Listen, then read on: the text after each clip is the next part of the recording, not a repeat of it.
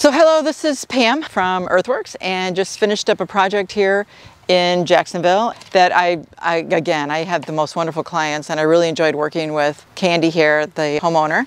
And she and I, she had um, opinions about what plants she liked and what plants she didn't like. So I put together a plan for her and then we went over the plant list and she added what she wanted to see and then I told her what would work, what wouldn't work. And so we worked really well together as far as just giving her landscape a refresh. Again, it was just old, overgrown, and very, like it didn't do anything to the curb appeal of her home. So we really didn't change the bed lines or anything. We just like, she's got this big, beautiful maple here in the front. So we just kind of added some fresh mulch around that. We ripped out a few of the old pittosporum that are over there. They were just kind of looked really small and scraggly and leggy.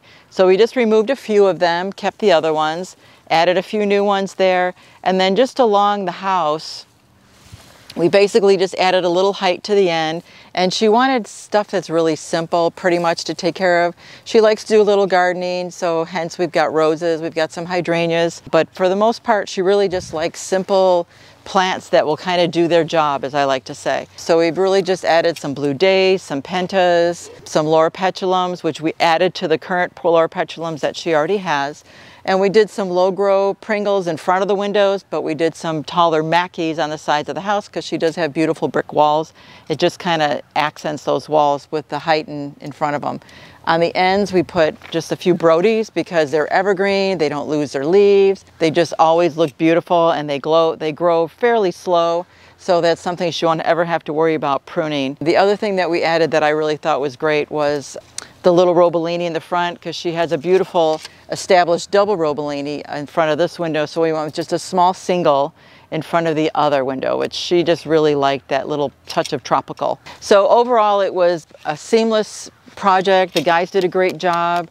Um, they were really easy for them to work with as clients and the install went very smoothly. Everything looks great. And then I always like to go back at the end of the project a few days after they've they've lived with it for over the weekend and a few days and just kind of do a final walkthrough with the client and just say, so what do you think? Do you have any areas of concern? Uh, we make sure that the plants are looking good.